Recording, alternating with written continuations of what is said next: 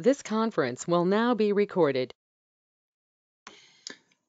Okay, uh, I want to welcome everyone that was able to uh, make the special meeting and uh, keep uh, the flow of government moving forward.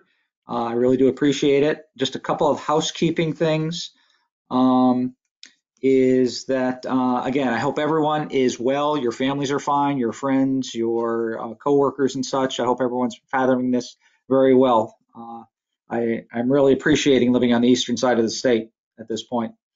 Um, and again, uh, it, please, as Mike said, uh, if you would keep your uh, uh microphone on mute. Uh, the session is being recorded for posting as part of the governor's requirements for municipal activities. However, Valerie is on also, and Valerie will be taking minutes so that we can post kind of cliff note minutes, if you will. They won't have to go through, I think Mike said it was going to be 20 or 30 pages of transcript or something that is generated. So uh, we'll keep it down to our usual two or three that people can catch the highlights of the meeting. Um, try to keep it down to only one conversation. I know this count sounds kind of funny for those of you. Those of you that are pictured, if you have something to say, raise your hand, okay, and allow the chair to recognize you. Um, and please be patient if you are only on through audio in order to be sure that we get you get you recognized and we're not just talking over each other or anything like that. Um, and uh, let's see. And also, please, when you do go to speak, say your name for Valerie so she can um, uh, catch who's making the comment or the motion or the action. And we have that captured appropriately. And uh, let's see. And please, uh, the other thing is let's keep to the issues on the agenda. We'll make this as painless as possible and we'll get through this. Hello, Janet. Uh, we will get through this. And uh, only a few items on the agenda. One's obviously larger, but it's really a uh, rehash. So uh, first and foremost, we'll do the seating of alternates. And uh, again, I'll keep looking up to see if someone has a comment or a question or anything. But um, it looks like we have, for alternates, we have Tom and Doug here. And we need uh, an alternate for, oh, we'll go with uh, for Nord and for Catherine. Okay, so we will seat uh, Tom Hastings for Nord, and we will see Doug Jen, Jenny for Catherine Sampson. Okay. Um, moving on to the review of the minutes for the March, whoops, I just got an ad for Norton. Um, moving on to the minutes of March 9th, 2020. I hope everyone had a chance to review those minutes. Uh, any uh, feedback, discussion, motion to accept? Uh, Jerry Dufresne, I'll make a motion to accept. Okay, motion from Jerry. Do we have a second? I'll second. Alex seconds.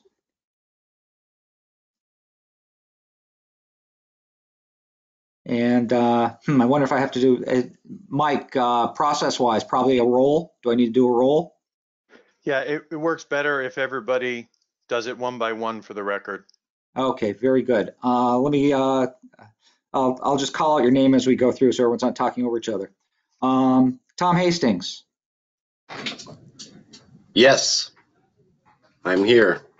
uh, accept, uh, and you were at the last meeting, I believe, correct? Yes, Okay, so uh, accept or yay or nay on the acceptance of the minutes? yay. Yay.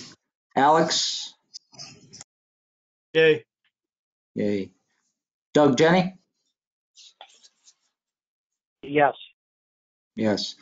Janet? Yes, Uh, Dick Williams? I was uh, not at the meeting, so I abstained. Okay, abstention? Uh, Jerry? Yes. And Mark? Yay. Mark. Thank you, Mark. Uh, From the list, have I missed anyone? Unanim, passes unanimously. Okay, thank you. Uh, Alex, any bills to work on? Uh, No bills. No bills. Any correspondence? Uh, I, I sent them out last month. Everybody should have had them. It was um, from the uh, local. I think everybody received an email on those. Okay.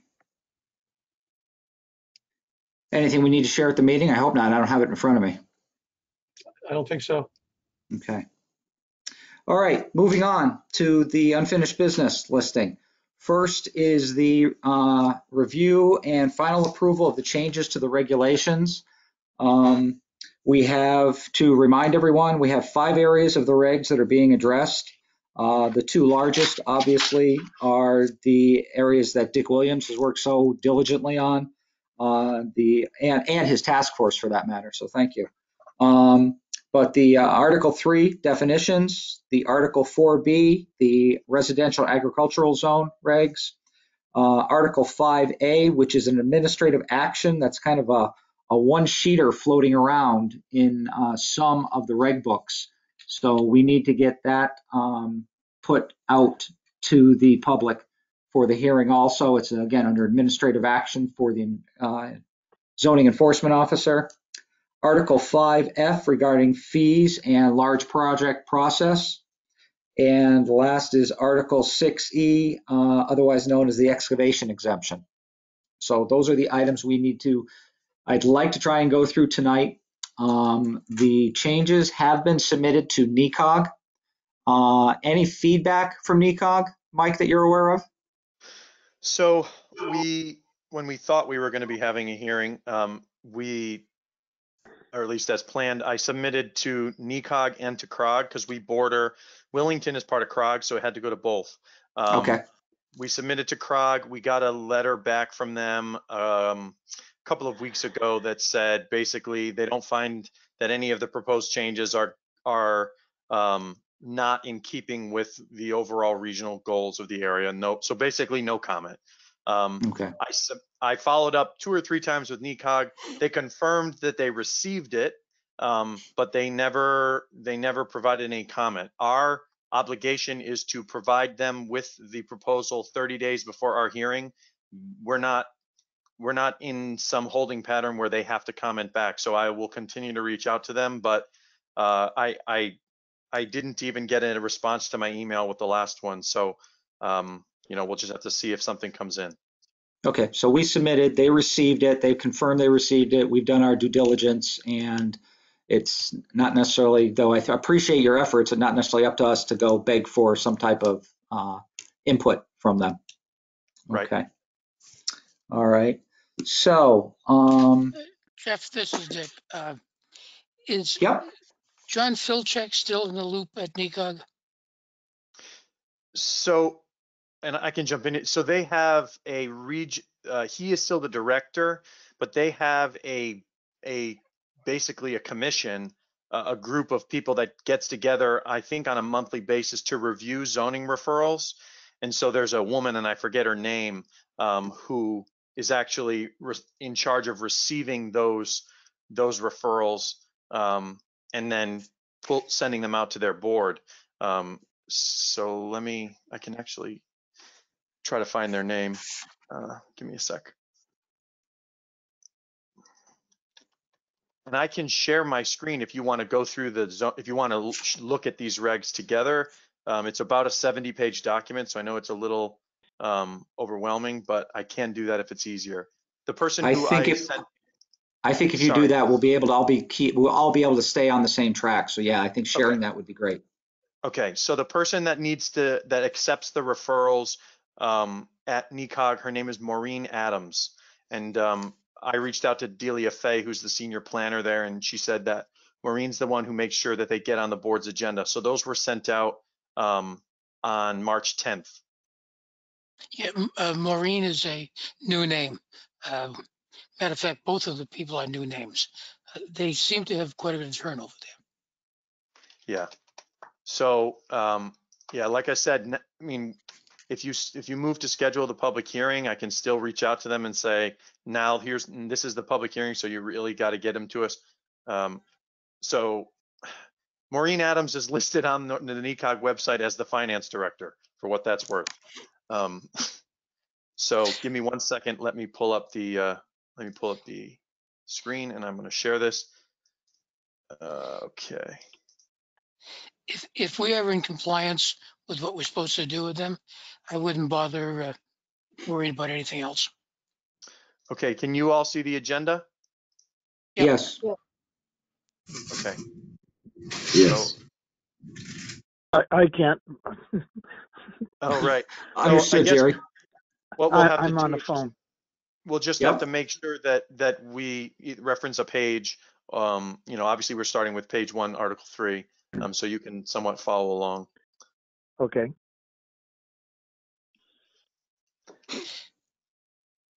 Uh, If, I- if I could jump in for a little bit on the front end of this. um, go- Going back with a little bit of history, we kind of came up with a bunch of tenets of what we were going to do to change the regulations. We were going to take things that were in the definitions that really belonged in the regulations out of the definitions and just put the items that only belonged in the definitions there. We were going to take out any definitions that were not relevant to anything that were in the regulations. We were going to take out anything in the, in the definitions that uh, conflicted with state regulations or simply restated state regulations. Uh, So there's, were quite a few changes in the definitions and we also, where we brought in new uh, terminology in the uh, section for the RA uh, regulations, we had to Mhm. add some, some new uh, definitions there. So there's an awful lot of red lines. Uh, One of the things that I asked Mike after we came back from Florida and got my head screwed back on, most everything that you see there, even though there's a lot of red lines, are pretty much the things that we had gone back over and had agreed to several months back. Right, right. And I, I agree wholeheartedly with that. Um, I think, uh, for the most part, unless someone has found something specific to discuss, um, I think most of any of the changes that we would, might, or we might want to address as a group have to do with some of the input from the Ag Commission. Uh, Paul, do you have your hand up? No, I'm just trying to read the thing. So Oh, okay, all right, no problem. I'm just wanted to be sure I wasn't saying It's, anything. it's difficult to read it on the iPhone. Is that any better? Yeah, Mike, if you could uh, increase the magnification on that. Hold on one second. Yeah, that's better. There we go. So, um, again, to that point, um, if there, uh, if anyone is well versed in some of those changes, uh, um, put to us with recommendations from the Ag Commission as we go through this, uh, I'd love to hear if you felt that it has been dealt with appropriately or if there's any further discussion. But again, as uh, to Dick's point, a lot of this we've already really gone over. I just thought a refresher and being sure what we were submitting, uh, which will then go to the general public for a public hearing, uh, was in order. So. Uh, Is there someone that wants to uh, take a lead on this as we go through it or just move our way through it? Uh, I know bed and breakfast on the se- second page, excuse me, the- well, this is how my breaks up. Yours might not. Under Bs for bed and breakfast, I know was a big piece. Um, I don't know if there was anything uh, specific for changes to the uh, A area.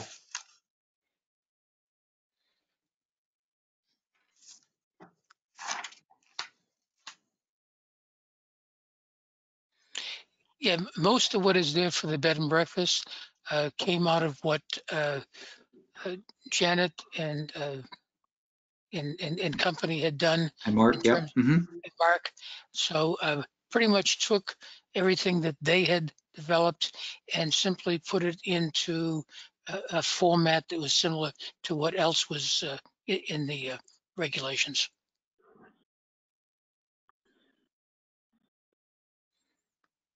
So I, I think Ja- Janet and- and Mark, if you look at there, I think you'll find that pretty much captured everything that you guys had put together. Yes, thank you, Dick. Yes, I agree. Okay, so we're good with bed and breakfast. Excellent. Okay. Um, and again, I know uh, buildable area, um, the contiguous area of a lot. I know that had something that was a change with our uh, RA input. Um,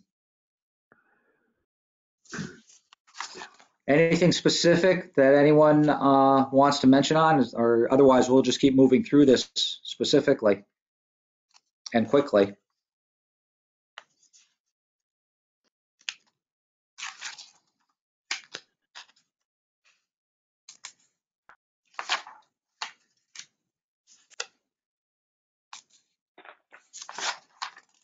Okay, um, let's see. Oh, I- I'll bring up one thing here. Uh, the, uh, term farm. Uh, Doug, any input on the, uh, definition of farm?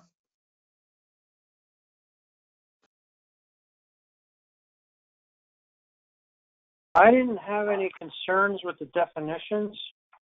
Okay, Oh, wait, the file I'm looking at is blank for farm. Let me pull up the PDF. Well, while you're looking for that, um, and I do see where we made the changes as asked for by the Ag Commission under farm brewery, farm distillery, and farm winery, and referencing the, uh, public acts for each of those, which is great.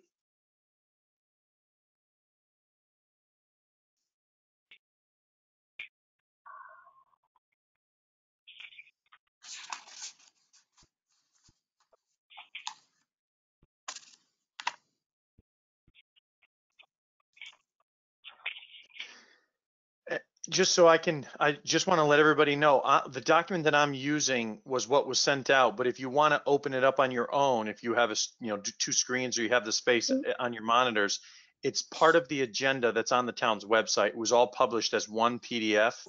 Um, so if you, if you want to have your own for reference, that's where this is.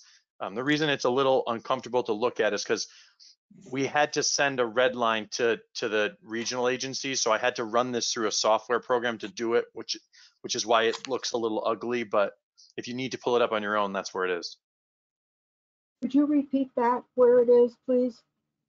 yep if you go to the town's website and you go to the planning and zoning commission um, and pull up their agenda the first page is the agenda but if you keep scrolling the the rest of the 60 70 pages is this document Oh. We got that in our emails too. Yes, it came in the emails as a, as uh, five or six attachments, um, but this is all this is all one. Okay, But but it's the same. It is the same version, the same revisions as what was in the email.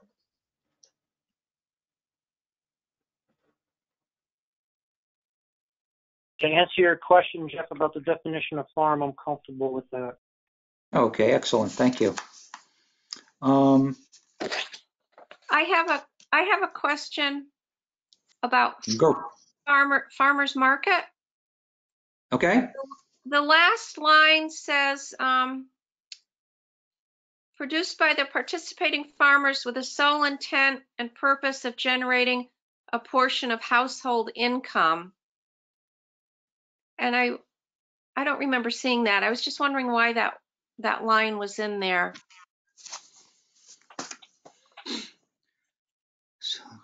Market, performance of the That, cultivation that uh, definition is the same definition that was in the existing regulations.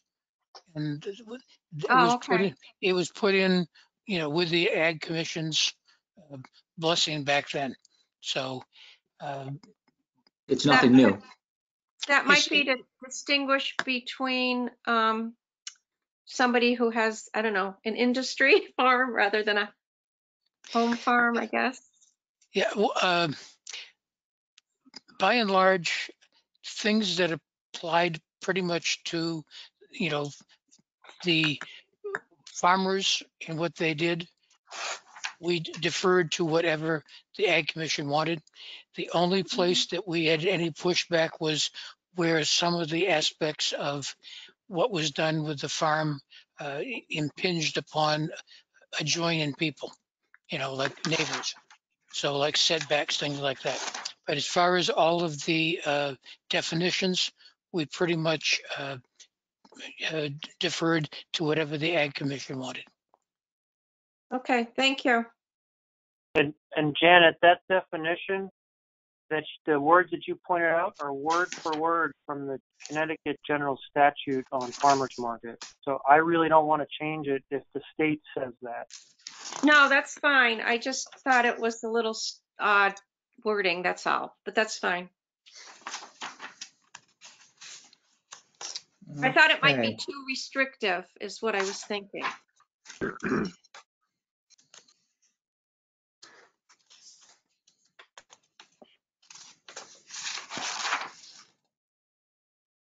Okay, moving through, I'm just going through, trying to hit upon some areas here. Uh, uh, I know we had some previous discussion on nuisance, and I believe nuisance has been struck from this uh, as a definition. Was that, was that relatively old or new, Dick? Uh, That nuisance is now in the, um, in another part, in the residential, Thank you. I thought, I thought it was something like that. Thank you. or yeah. Yeah, I, I- I think we moved it to the regulations and out of the definition. Itself. Excellent. Okay, Because- very good. because- Because the nuisance is unique to the uh, Airbnb kind of thing. Right. Uh, recreational, right away, shopping center signs, sign area, street swimming pool. I see nothing else here to bring up from a standpoint of the definitions. Does anyone have anything specific? Um, I'd just like to point out, um, that a couple of the items are no longer alphabetical. So, um, before we actually publish it, um, I can send Dick few that I found. There might be more. Um, we might just want to go through it and make sure they're, you know, in the right order. I think some of the things that we changed got moved around a little bit. Yeah. I'll admit I get kind of blurry eyed Right. after a while. And, and uh, by all means, look through it, uh, any, all of you, and if you find any grammatical things or spelling things or, you know, stuff like that, uh, br- bring them up. And I do have the Word version of this whole thing without all the red lines, and I can make the final changes in there. Okay. Okay, so except for those uh, uh, alphabetical and maybe a typo here or there, I think we're good with the definitions. Um, Jeff, I, I would propose that we call a vote on accepting each one of these as an individual item. I- I'm fine with that. Um, Okay, do I hear a motion? Well, I guess with the, um, a motion regarding acceptance of the Article 3 definitions upon final review of alphabetical assortment and grammatical correctness? I- I'll make that, that uh, uh, motion. Okay, Dick Williams makes that motion. Valerie? This Uh, is is there- Janet. I'll second it. Janet Bellamy seconds. And let's take the roll. Uh, Tom Hastings, Yes. yes. Alex, Yes, yes. Doug, Yes, Janet, Yes. yes. Dick, Yes, Jerry, yes, Mark, yes, Okay, uh, it's unanimous. We'll accept the definitions with those uh, uh, tweaks to them. Very good. The next item is the Article 4B.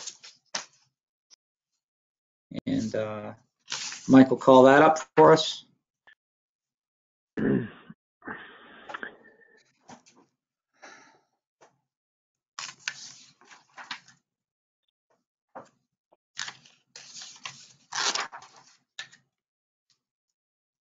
Oh, I think I went too far. Hold on. I did that once. I got slapped. Article 4B.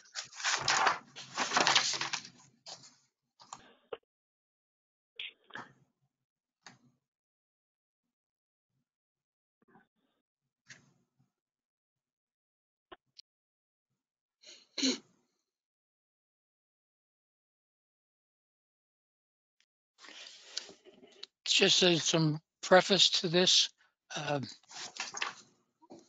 one of the main things that drove this was uh, two letters from, uh, and I can't remember everyone's name, but basically questioning the uh, requirements for uh, what drove the lot size.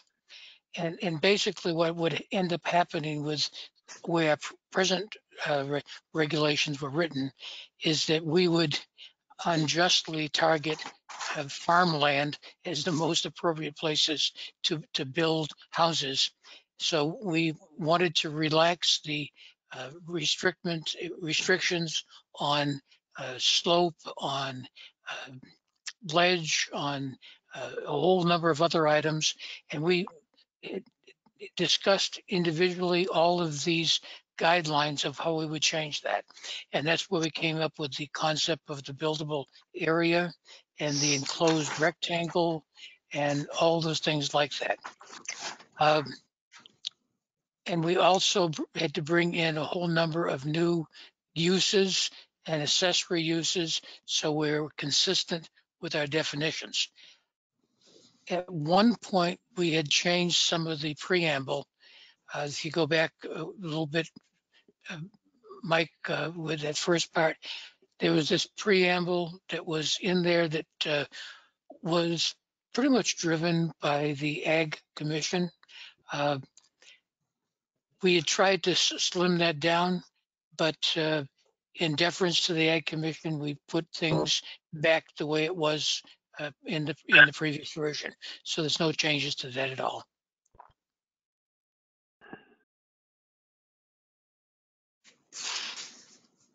Okay. Um, and I can see where, um,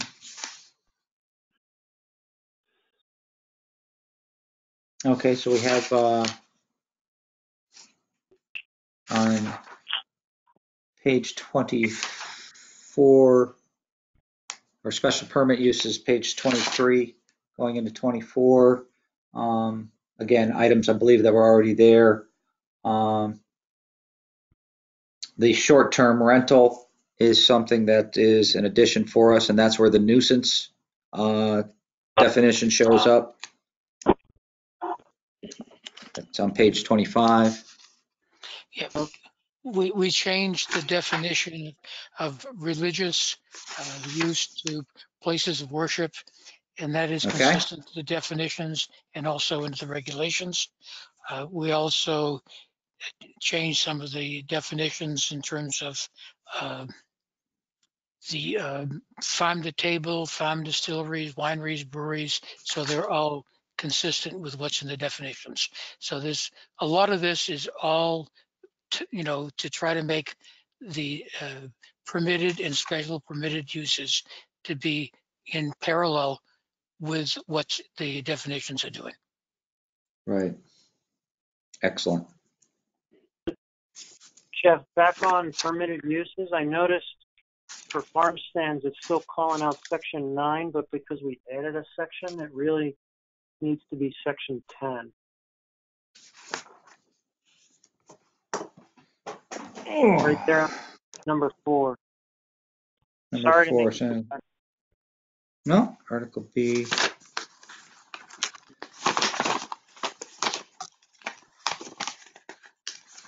Flipping through here. Because section five became six, section six became seven. Eight Uh, became section- nine, and then, Eight became nine. and then agriculture became ten.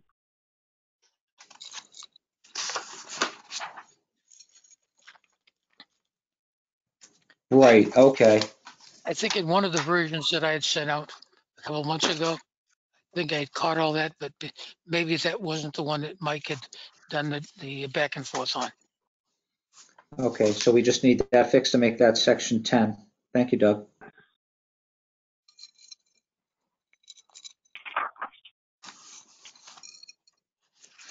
And stores, okay.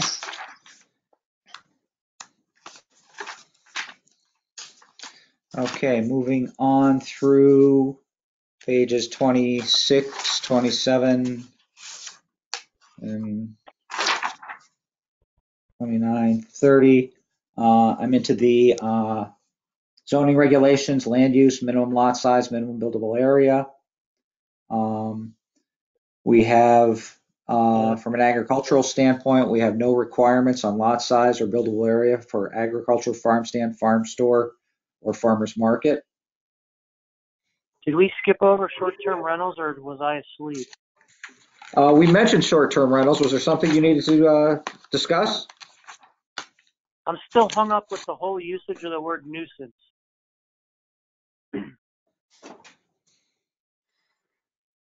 So we moved it out of definitions and it still exists. So why do we still want it to exist? I'm worried it's going to be get expanded upon by the public. I, I- I think that Jenny speaking? Who is speaking? This is Doug Jenny. Okay. Well, this is specifically as related to the um, short-term rentals and allowing the um, zoning enforcement official to take action if, if there's uh, uh, complaints. I, think the idea, is Dick Williams, I think the idea was we didn't want to give a license for someone to have a short-term rental and let them continue to do it forever. We wanted to have a way to go, to go back and review how the uh, owner of this short-term rental was uh, interacting with its tenants. And if the tenants were causing a problem in the neighborhood, we wanted a way to not renew the uh, permit. So these permits were, you know, uh, and I don't recall exactly the term, but I think it was a year or two. And then if, if they were a problem, that we could deny the permit.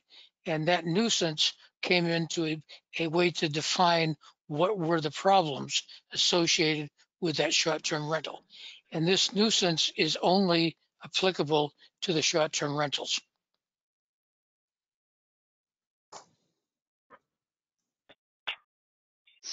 Is it something legally that the CEO could stand behind? Like it, it feels like it's something that the police would really be involved with, not zoning.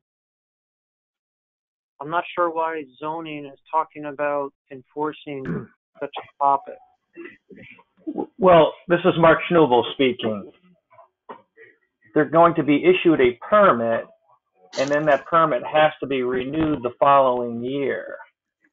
So if the property has been a nuisance for that year, it allows us an area where we can point to that we're not renewing the permit because of these nuisance violations.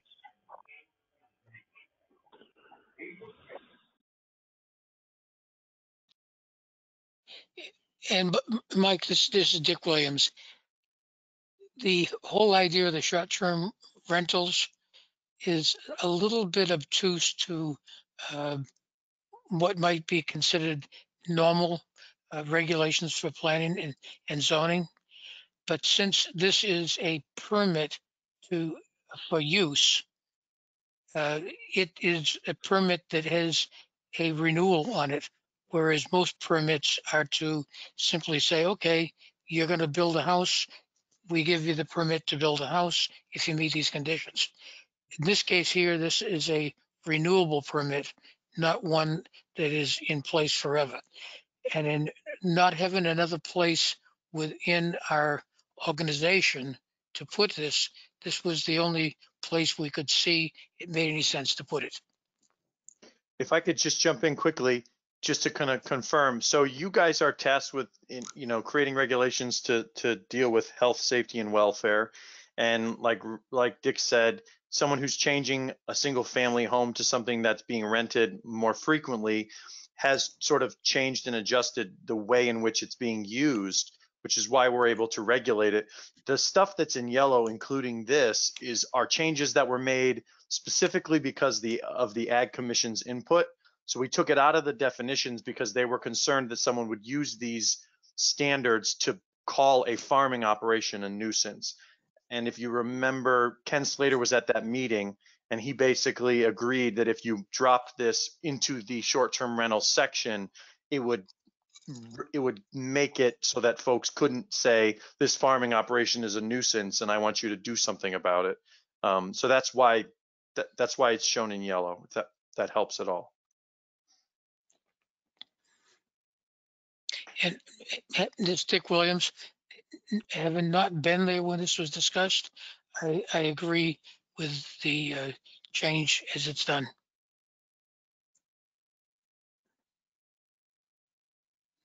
Does that make sense to you, Doug? Yeah, it does, provided this word does not show up anywhere else except for this line item here in the regs. Well, it, it shows up here and it shows up under number four in those same regs for the short-term rental where the zoning enforcement officer um, uh, may revoke a permit uh, for a temporary rental uh, if a nuisance, uh, having imposed a nuisance on neighbors. And obviously, you know, he would need to have some type of uh, teeth or not so much teeth as some type of a definition. But I, I do believe, Dick, correct me if I'm wrong, this is, since it's been moved out of the definitions part, this is the only spot where nuisance shows up. Correct. It, it, it, where it's only in that section, it only applies to that section.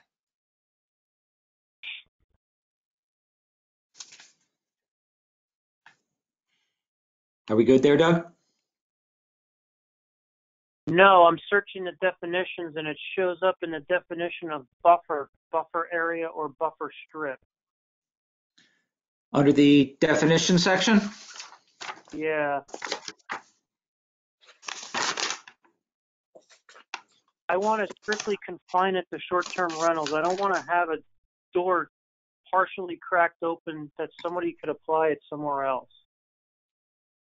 Specifically with, it doesn't necessarily have to be agriculture, but that's certainly on my mind.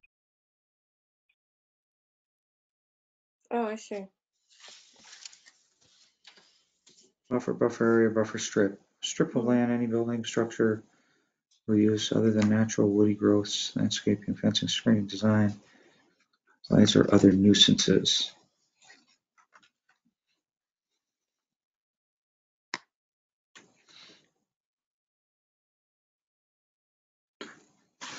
Do we have another word for nuisance for buffer? Uh, subs- substitute the word issues for nuisance. Or other issues? Any issues? Or other, problems?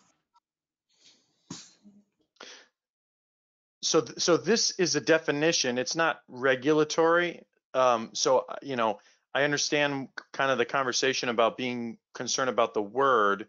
I would just say that this is saying that one could create a buffer to to shield or block a nuisance. Um, so it doesn't give any it doesn't give any regulatory authority or, or say anything about a nuisance. It just suggests how a buffer might be used. And we can certainly look at other we can certainly come up with other language for the public hearing. Um, but uh, you know, this is the only other place that I see it used when I did a search. Um, I've got annoyance, inconvenience.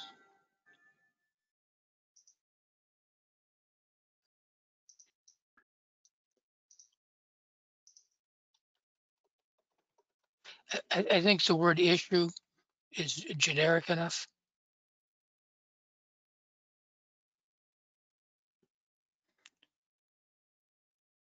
And, and keep in mind, this is a definition, not a regulation, and it's, it's given examples of things that would you know, a- apply. It's not Yep.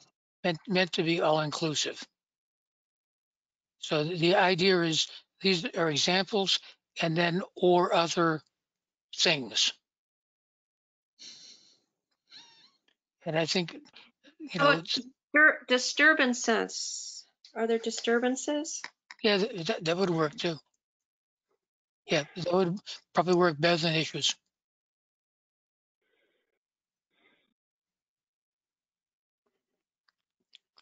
I, I would, I would go with what Janet just uh, recommended. This is Dick Williams. So how's that, Doug, if we move that out to disturbances?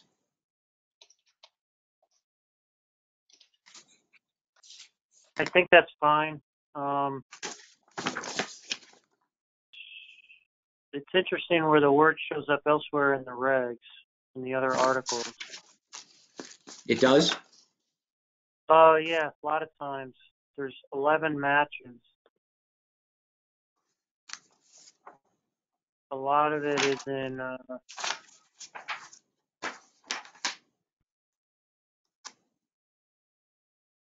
uh, Earth, the Article 6C, Article 4C. I, I don't know. I'm, I'm starting to go down a rabbit hole now, though. Okay, let, let's just stick to the areas, we've already approved the definitions. So where else within definitions uh, uh, is the word nuisance used?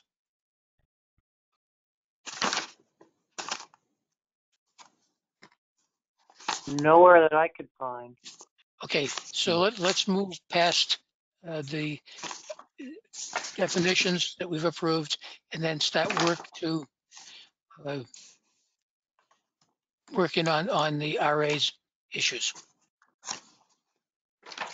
Okay. And, All and if, there- right.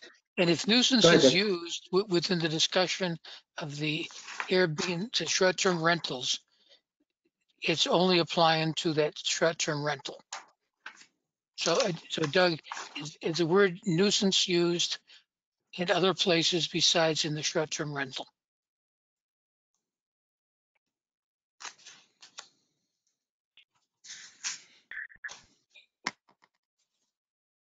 In Article 4B, no.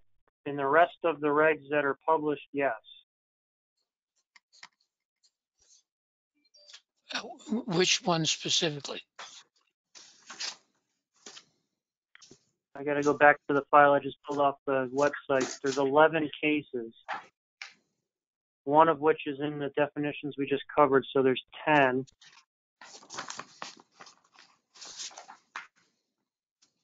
Article 4C. These are articles that we're not discussing tonight. If, if they're not ones that we're changing, then they're for another day. Okay. Okay. All right. Uh, moving on, moving on. Um, as I said, no minimum lot size, no minimum buildable area for agricultural farm stand, farm stores, farmers market. Um, also, we, uh, moved the, uh, I believe we changed the agricultural structure back to what's currently in there at 25, 25, and 25. Is that correct? Yes. And again, uh, farm stand with uh, no front setback, farm store 50 feet, farmer's market, no front setback. Um, So those have been addressed. Uh,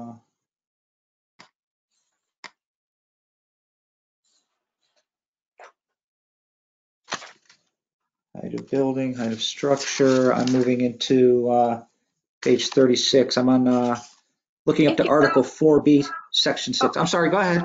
Excuse me, it's Janet. If you go to page 34, single Yep, family dwelling, yes. um,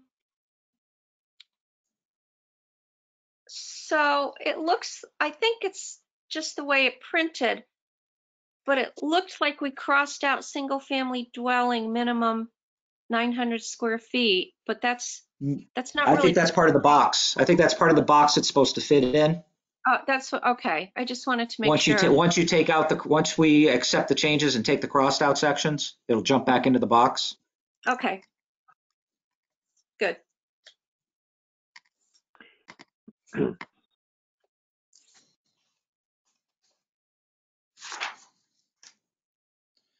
Uh, Uh, Jeff, one thought here. Um, the, Yes. the, the standard says minimum finished floor area required for certificate of occupancy. Planning and zoning and, and, you know, we don't regulate when certificates of occupancy are issued. If the building is fit to be habit, you know, eh, fit to be occupied, the building official has to issue one. So, you know, I don't know if there's been any consideration to changing that to say certificate of zoning compliance or, or, or final zoning approval or something, because the building official is not going to hold up a CO specifically um, because of a zoning regulation. He can't do that. So it would have to be, uh, you know, I don't know if there's been any consideration. That looks like it's actually been struck though. Um, I think it's just the formatting because of the the track changes, at least on the way I'm looking at it, but I could be wrong. Are you saying, is this in number three, livable floor area requirements, and then the first few lines? Yeah, just before section four, height of, or number four, height of buildings and structures. Right. I, I see red lines through that. No, I think they're under it. It's under, yeah, the red I- is. Oh, are they? just Dick Williams, I believe that's the language that is in the existing regulations. Oh, It okay. was just, so, so I don't think that was something new added. The only thing we did is, uh, re-examine the nine hundred square feet. But the, the wording in terms of the COs, the same as what's, exi- is in existing. If, if you look at the existing, uh, regulations, I think you'll, you'll find it there. But I mean, I got no problem with changing, you know, it for what Mike was saying. You know, it's, it's, a, the, key thing is that single family dwellings, minimum of nine hundred square feet, two, two family dwelling, nine hundred square feet for each unit. And, uh, since sometimes people, uh, Oh, I'm, I'm sorry. don't fin- don't finish the home before they occupy it. The idea is that they need to have a minimum of 900 square feet when they occupy the home. So if they build in a, you know, story and a half house and they're not going to finish off the second floor, when they occupy it, there's got to be a minimum of 900 square feet of occupied space.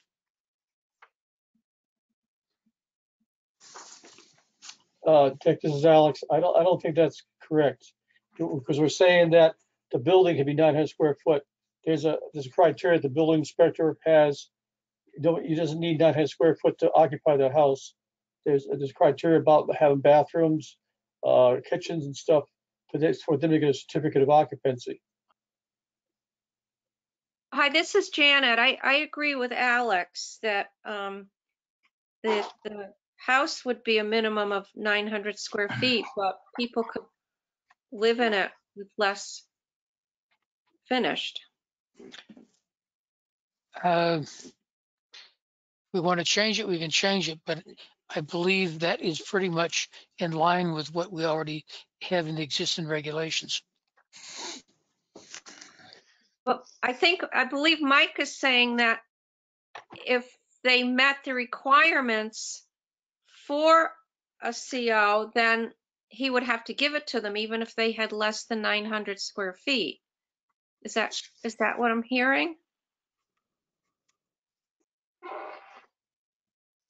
Um, my understanding of the building code is that if the house is safe, and, and the only reason I'm, I'm bringing this up is because I've, I uh, had a previous boss who was in, in a court case over it, and he was trying to hold up a, a zoning, the issuance of a, you know, building, uh, CO because of a zoning violation, and they went to court and the judge said, building official doesn't regulate zoning, so if the house is safe, he's got to issue a CO. If the zoning officer wants to deal with it through through the channels that the zoning officer has, that's fine. Um, so I'm just I don't want to be in a position where I'm saying you don't have 900 square feet, and the building official saying sorry, he meets the building code. Um, so I just brought up on the on the page now. This is the current set of zoning regs that are on the website. So this isn't proposed to be changed. This is what we have now.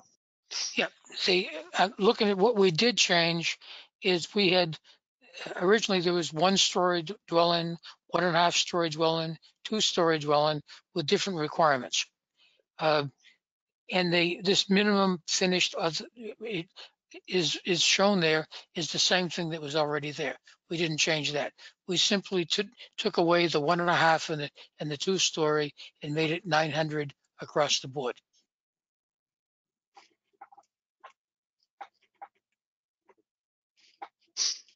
This is Janet. I don't, I don't understand why we wouldn't take that out if it's going to be different from what the building official is going to say. Are we, are we looking at, hi, this is Jeff. Thank, sorry, Valerie. Um, are we looking at two different things though? With what's written in here, at least in the, the middle section there, it talks about a footprint versus a minimum finished floor area. Wouldn't those be, wouldn't those be two different things? When, when we changed it, we tried to do away with uh, too many this, this, and this. If, if one story dwelling, 900 square feet was enough, why did it have to be different for one and a half story and two story? Um, We left the minimum, we left the minimum finished floor area the same as it was previously. Uh, My two cents worth is that if, if someone's going to move into the place, uh, either we need to put language to be in compliance with the building uh, inspector, but you shouldn't be able to build a house and move in where you only have, you know, studs up and, you know, in, in the place, you know, uh, half of the bathroom fixtures and the like of that. I mean, the house that needs to be at least finished off to a minimum of 900 square feet in order to be compliant to move into. Now, whether you, whether you want to use different language than what's there, but that was the language that's been there previously.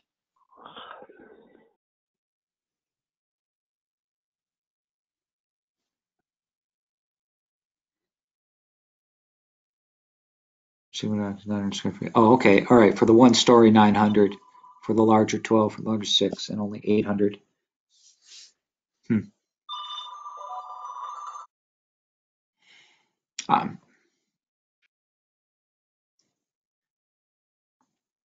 Well, this for no is good Jan- reason, I'm, I'm I'm willing to, I'm willing to accept it and keep it moving. Um, Right. at this point, since it is, uh, from our previous regs.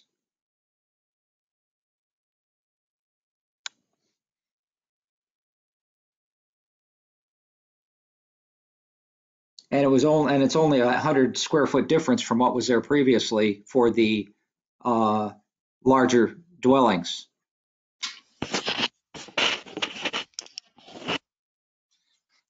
Yeah, I, I would say it hasn't caused us any problems for, you know, 10 years. So it's probably not the biggest thing to, to worry about right now. Unless anyone has a burning issue, I mean, we can move on. Okay. Thank you. Okay, 34, 35, sporting clubs, kennels. Object to the required setback. Uh, Mike, Mike, set- if you could. I'm sorry, If you could get rid of the, the, the uh, old stuff on the right and enlarge the one on the left.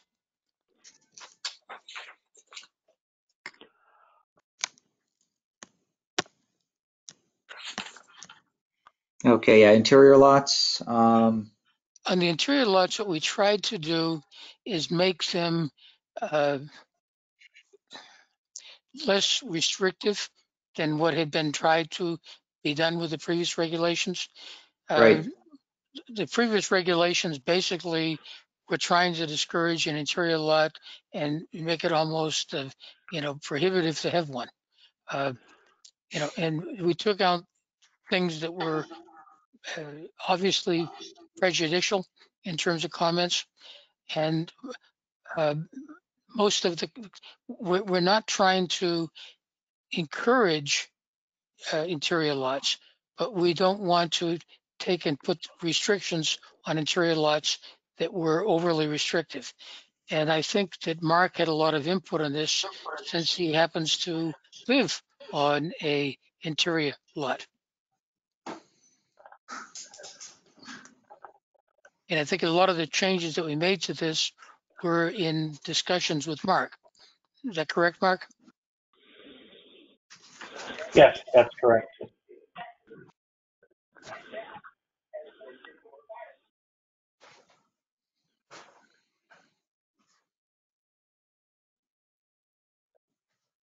okay. Any comments on the interior lots?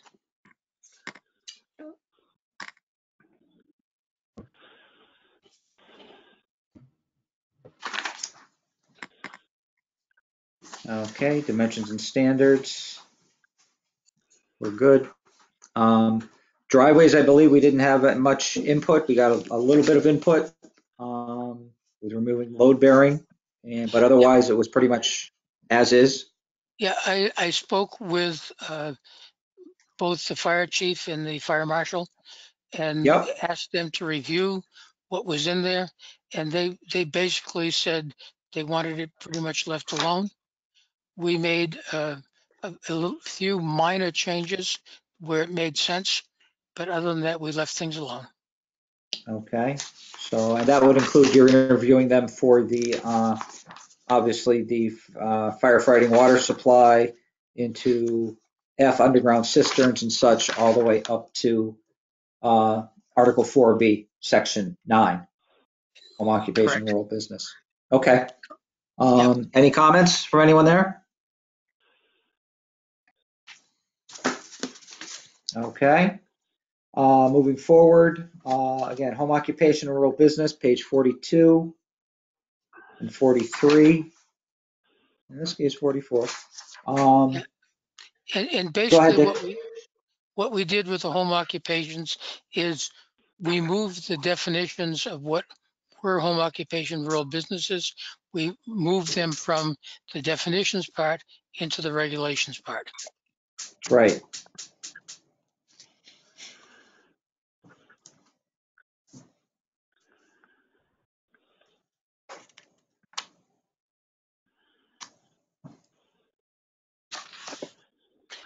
And so in, in general, it, it didn't change much of anything. It's just changed Right. what we put, what we put where. Okay.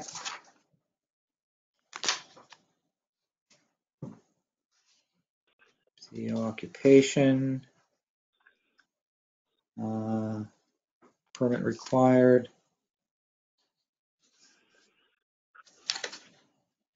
Requirements, draft.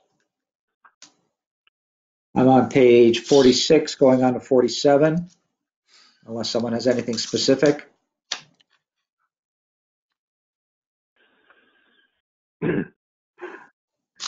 Uh, That leads us to Article 4B, Section 10, Agriculture.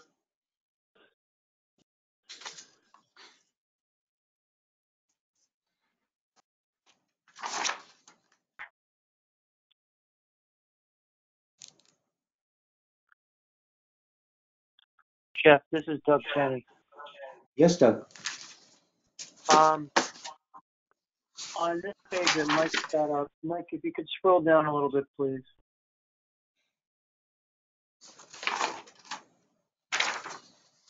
Right there. I believe we spoke back in, uh, when was the last meeting? February? No, March. No. I think it was February, right? February, February, I believe. we spoke about taking out that section, that little letter C there about specifying the number of signs under uh, seasonal agricultural signage.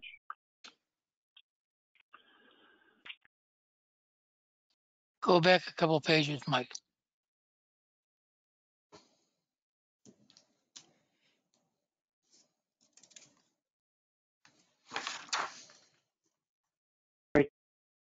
Right there.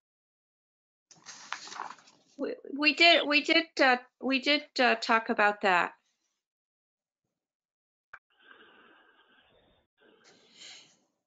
And it was, it was, uh, it was discussed that, um, no farmer would actually spend the money to put up more signage than he actually felt they needed. The only thing I would say to that, this Dick Williams, is uh, Sean Patrick's uh, nursery. Uh, I think he's probably got a dozen signs up in various places uh, because he's in such a remote area that it's kind of hard to find him. Mhm. So um, I, I wouldn't be adverse to simply striking that out totally.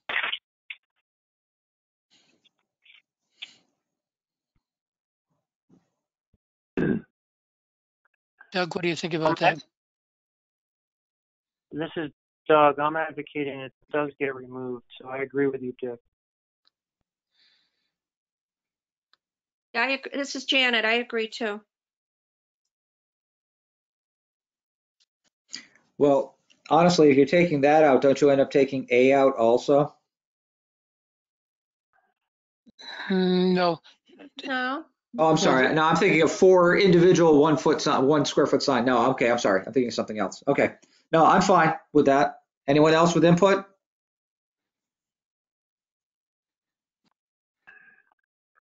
And then on, on letter C down below, where did farm dinners come from? Because that's the first time I've seen that. It's not in my notes from February.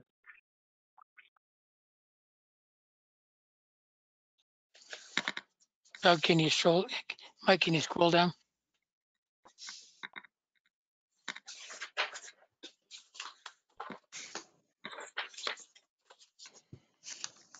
cover seasonal events.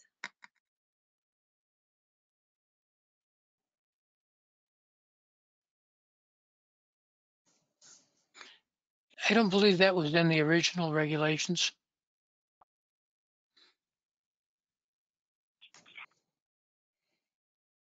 I think it's if uh, someone on their farm wants to host a, a, a dinner, that, you know, that they would have to require, you know, a, uh certificate of compliance.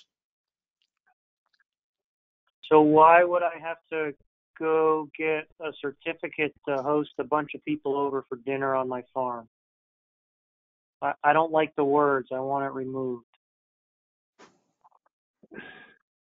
Well, I think these are, this is implying, uh, this is Janet. I think, is this implying that these events are, uh, to raise money? I think, I think they're more along the lines, they don't necessarily have to raise money, but they have to be open to the public, so to speak, Mm-hmm. Such as a think this- hayride or a petting zoo or an educational demonstration. I think this was, this was included, it's in yellow, so that leads me to believe it was following something from the Ag Commission.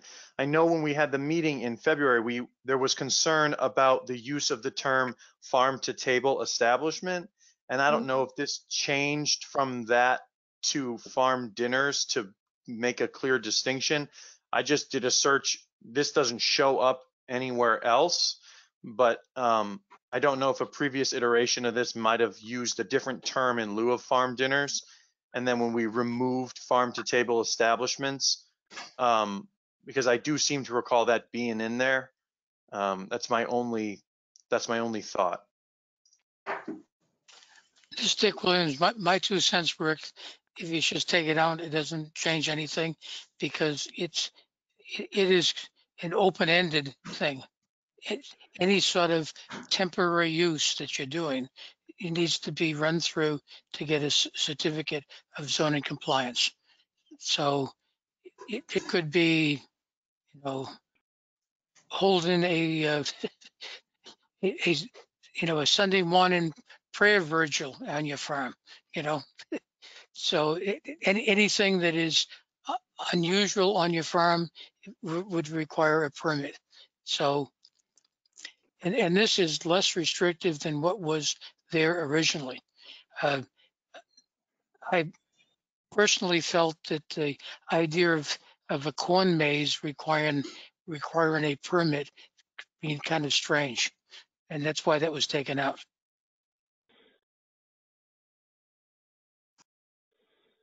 Yeah, even then, taking out the privately hosted events, which were there before too, right? Yeah, we could strike the farm dinners. I'm fine with that. Anyone else have an issue?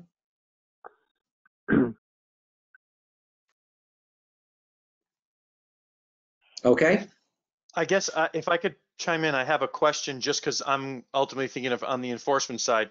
Is the perspective of the commission that you want people to be able to have, uh, if they own a farm, you want them to be able to host dinners on their farm for people they're not related to, where they pay the farmer to have a dinner out in a field? Is the sentiment that you want them to allow, you want them to be able to do that? Because if you do, I think we ought to keep it because this is saying the commission acknowledges this is something that we think you ought to to uh, be able to do. If you, if you take it out, you know, I I, you're, I don't think you're changing the regulatory sense of this section, but you're sort of not suggesting that this is something you're open to. And for the purposes of consistent interpretation of the reg, I think it's if you if you think you want people to be able to do it, you might consider having it mentioned somewhere. I just want to make sure it's clear what the interpretation will be for enforcement. would Well- we meet that, would, instead of listing each individual idea someone might come up with, again, we know, we don't want to get into that. We've tried to steer away from that, as opposed to adding that in. We do have the statement of other similar uses. Would the statement open to the public fulfill that need? Yeah, And, and by the way, if Doug wanted to have a dinner at his farm, he would have to comply with the state uh, health department in order to get a permit. So that's going to be regulated by them, not by planning and zoning. That's very true. So I, I Yeah, would say, I would say right now, let's take it out because it kind of puts a red flag up for it.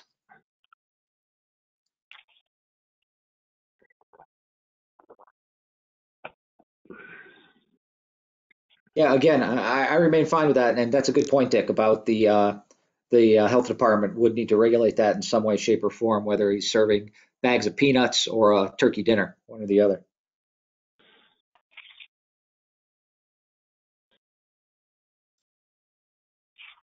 When are we coming over for dinner, Doug? When we can be more than six feet apart, uh, less than six feet apart from each other. All right, I'm taking you at your word. Okay, um, anything else there? Leads us to the 4B, Section 10, Agriculture.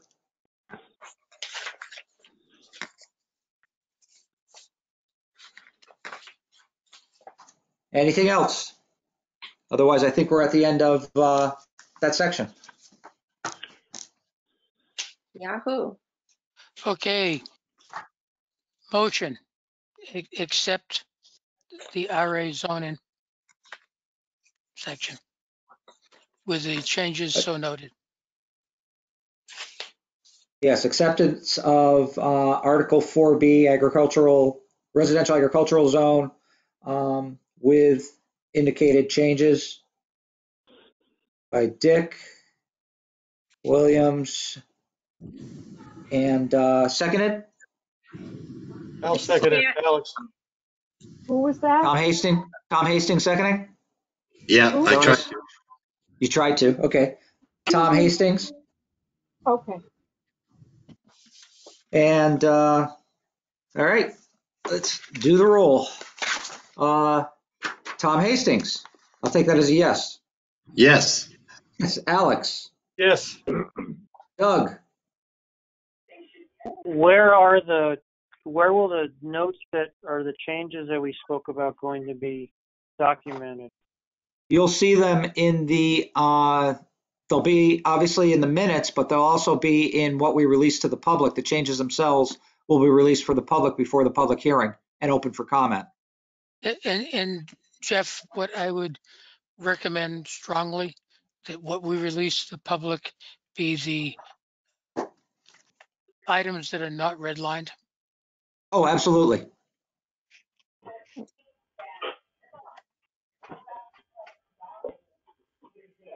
Okay, I'm a yes.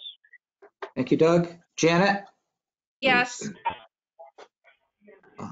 Dick Williams, Yay. yay. Jerry, Yes. yes. Mark, Yes. yes. Okay, unanimous. Okay, those were the two meaty sections. Uh, Going to Article 5A, Section 4, Administrative Action. Uh, Again, this is something that's been kind of floating around uh, in some uh, reg handbooks, reg regulation uh, document books, and not in others. And this was a reg. I'm looking for help here from the uh, historical. Did we? Is this something? This isn't anything we voted on before, was it, Alex? Uh,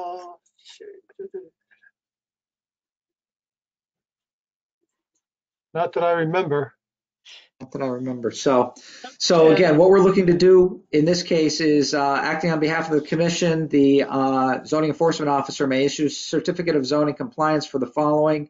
Uh, and for an addition to any existing structure uh, for any permitted use in any zone, uh, as opposed to of no more than 500 feet, square feet in gross floor area.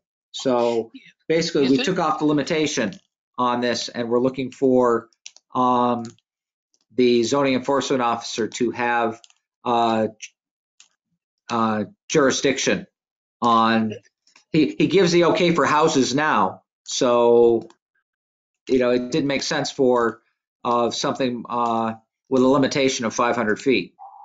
Yeah, the the history on this, uh, Jeff, this is Dick. Uh, Yep, This is something that Michael Gardner had recommended multiple Right. times in the past. So yep, we, we just kind of pulled this in and made the changes. So it was in compliance with what he had re- recommended. And we also ran it past Mike. So this simply gives the, uh, you know, the the CEO the approval that goes in parallel with what he's doing on buildings themselves. right. So not a big thing. mm -hmm. Uh, any uh, feedback? Any motion to accept the changes for Article 5A, Section 4? this Uh, is so Janet. moved. I'll, oh, So this is moved by Janet. I'll Alex. second. So moved by Alex Castillo, seconded by Janet Bellamy. Uh, Do the roll. Uh, Tom Hastings, yes, Alex, Yes, uh, Doug, Yes. Janet, Yes, uh, Dick Williams, Yay. Jerry, Yes. Mark, Yes. it's unanimous. Okay.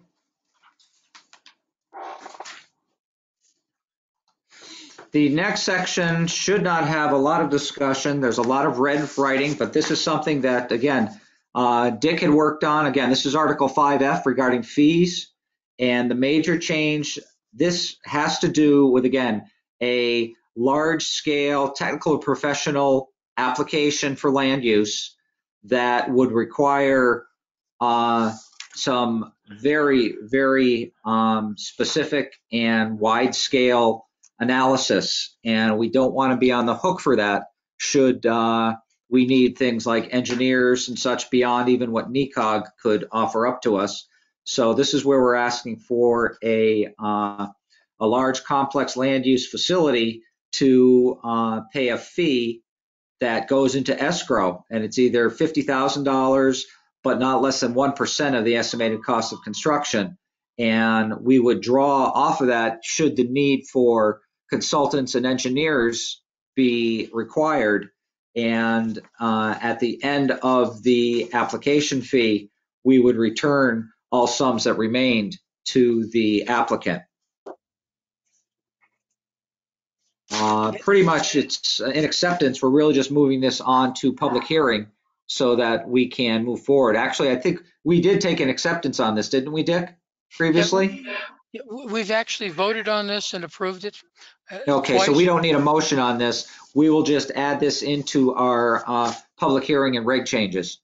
Yeah, and, and this uh, goes into the regs and it goes in parallel with an ordinance that is also hopefully in the works because this has to be in an ordinance in addition to the regulations.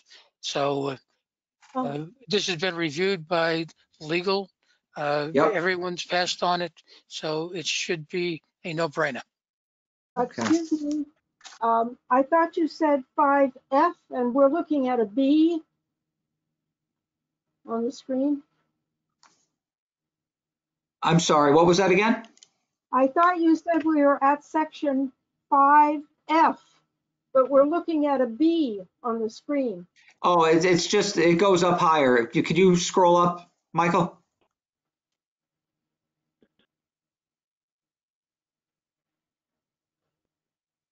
Okay, A Little bit higher. There we go. Article Okay. 5F, Section 1. okay, I've got it, I've got it. Okay, great, thank you. Okay, next item is Article 6E, Section 2.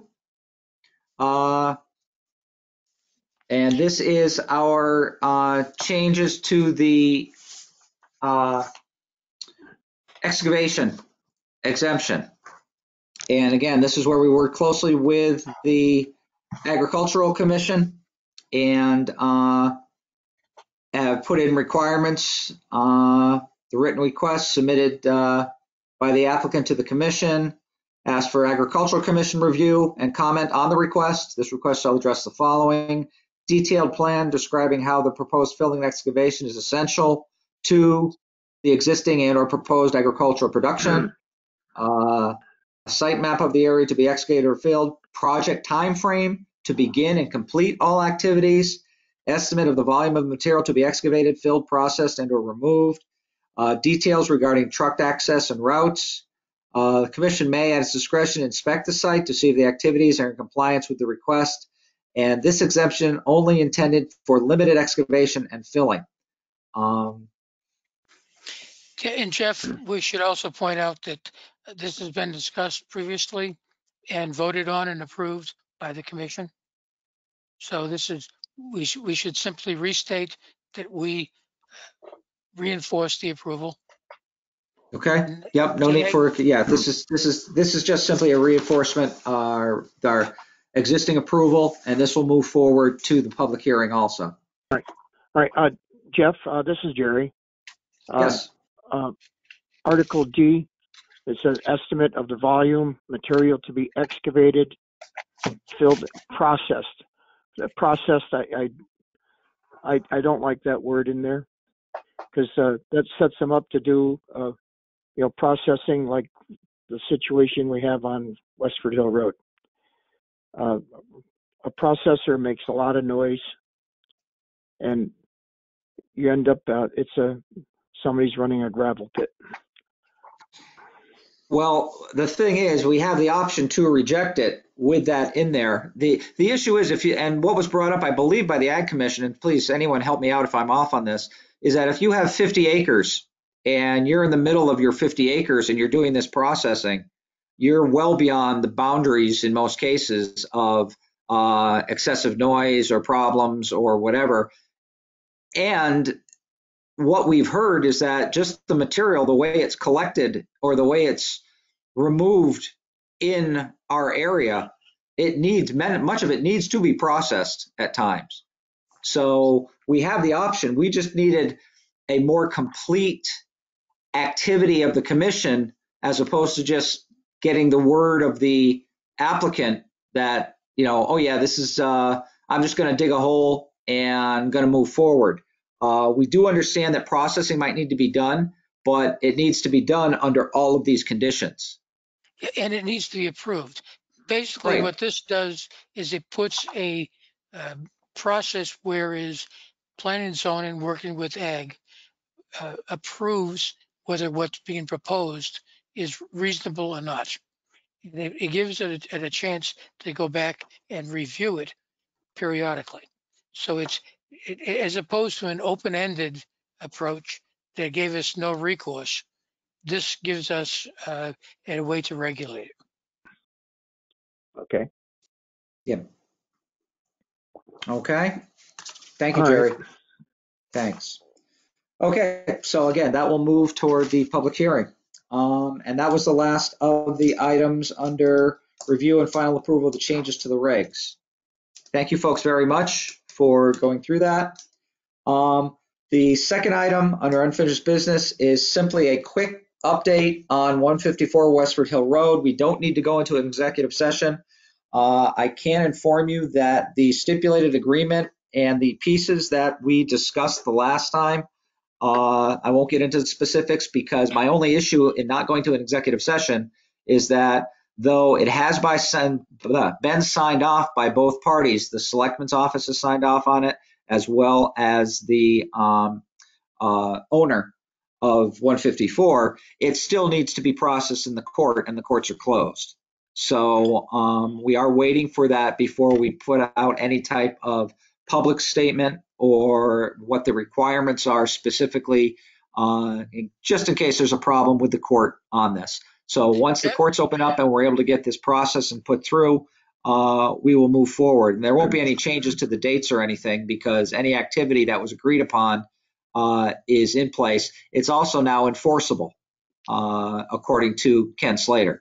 So we are able to use any of the information in there that allows it to be enforceable, the dates, the times, uh, the uh, material being moved and giving us bill of ladings for that. All of that stuff is enforceable under the stipulation.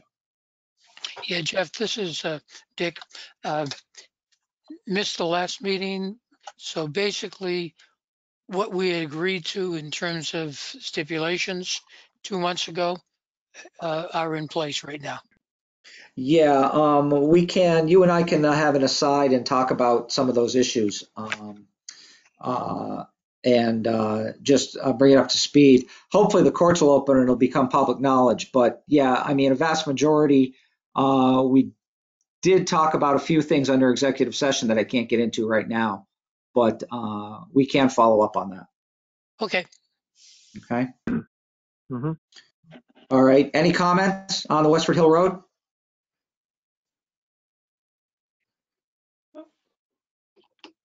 Okay, thank you. Uh, zoning officer report. Michael, anything to say? Share? Um, I guess I can, I mean, things are picking up again. Um, we had about a month where everything was more or less dead.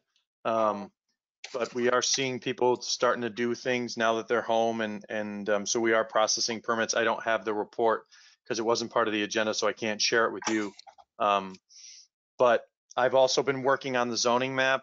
So basically what I did is I printed out about a six foot long, long map of the town and I'm going through the written text that's in the zoning regs and coloring it so that I can kind of verify and then I'll present that to you.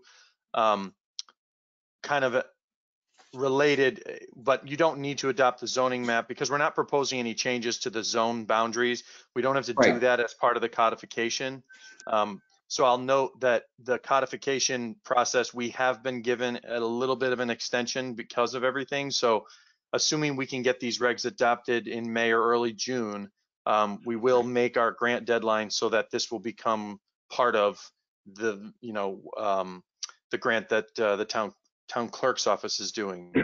Um, the only other thing that I'll mention is we do have an application um, that would have been received had we had our regular meeting last a couple of weeks ago for a sign, um, a special permit application for a sign. Um, so that will be a public hearing, which you guys will also be dealing with um, at the next meeting. Um, it's for a um, basically just an enlargement of an existing freestanding sign at the um, the package store. Um, and uh, that's that's the only thing that I that I've got going on. Okay. Mike, this, this is Dick. Um, Whether it requires the approval or not, I'd like to see the revised zoning map kind of go through as this package. And I think I've said to you a couple times, the uh, uh, list of what's existing in terms of the uh, items that are approved, plus the also what was discussed in the meetings that we had with John Filchak. So, you know, if we could have those available, so we're adopting those at the same time we adopt everything else, I think that would be good. Yeah, I I I'm do I do have what you sent me, and I, frankly, it's just taken longer than I thought. Number one, because when I'm in the town hall, I'm covering the whole office myself, so the phone's ringing and it's crazy. But also, the the way that the re, the way that the zones and the parcels that are designated are written, it's like a distance of 1,200 feet from this road, and and translating that to specific parcels with an actual scale to make sure that it it- it's just taken a lot longer than I thought. So I have it started. I will do my best to get it done for the public hearing. I I just I'm not sure that I'm going to get it done, but but I will do my darndest. Yeah, Mike, if, if you kind of get it together and send me something that I can look at on, on my computer. Uh, For some reason, uh, some of those, especially with the land in and around uh, the intersection of 74 and 44, uh, it only was talking about zoning like two or 300 feet from the road. Uh, It it would be probably better to just zone the entire parcels. Uh, And most of it is just taken blanket zoning along 74 and 44 and uh, just making those, you know, uh, commercial. Uh, But, but we, we can work on that, work, work on that offline if you'd like. Yeah, I mean, I can send you a a copy of the map, the part a blank map that I'm kind of, and then we can compare notes between what I'm got and what you've got. Um, I can I can email you a PDF of the parcel map. Okay, Okay. because it'd be Any- good to have, it'd be good to have that in the regs because what we have in there now is very, very, uh, you know, it's spot zoning, Well, which And, not and, not good. and, and Mi- and Mike is aware of that and trying to get this done. Thank you, Mike. Anything else, Mike? That's all I have. Okay, any, uh, questions or comments for Mike?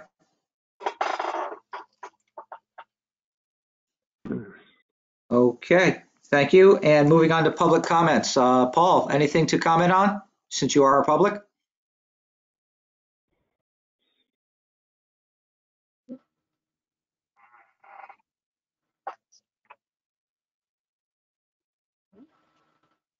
You froze. You there? Oh, Hi. Can you hear me now? Oh, little movement, but your voice is kind of, uh, Is that better? better. Go ahead.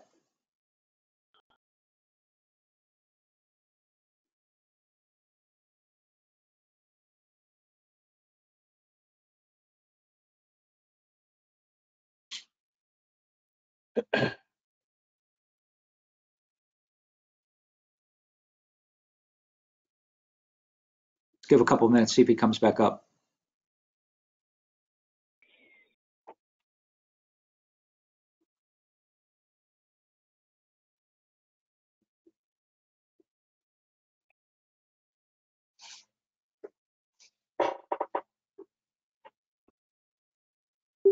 Mallory, he coming back?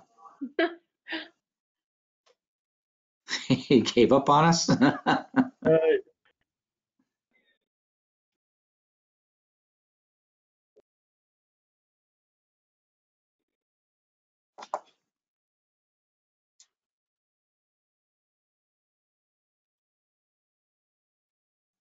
Oh, coming back.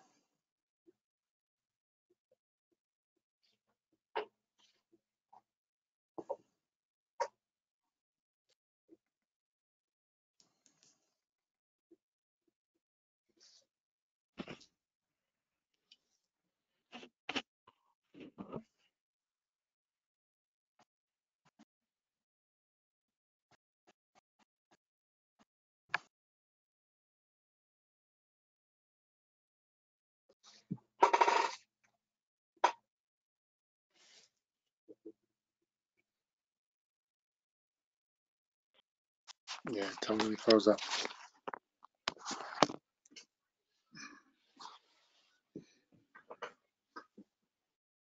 There, I just realized I was muted also, and Paul is going to email our comments for those of you who didn't see that on the board there. Um, he uh, got lost at the most inopportune time, as he said. Okay, uh, that is it. I want to thank everyone for your patience, for your time, for again keeping government moving forward.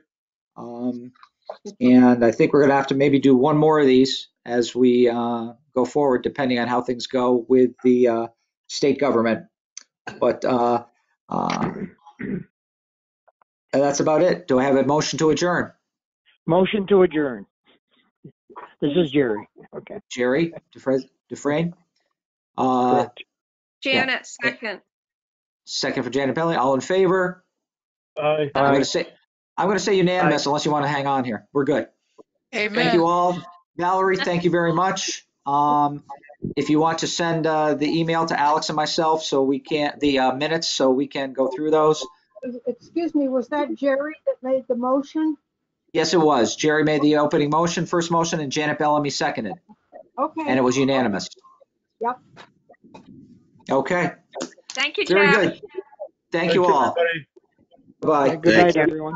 Be safe. Thank you.